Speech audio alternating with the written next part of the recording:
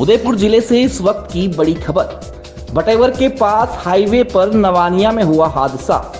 Ambulance को truck ने पीछे से मारी टक्कर।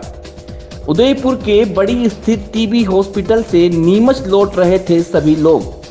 हादसे में चार लोग हुए घायल। मुकेश नामक युवक चला रहा था एंबुलेंस।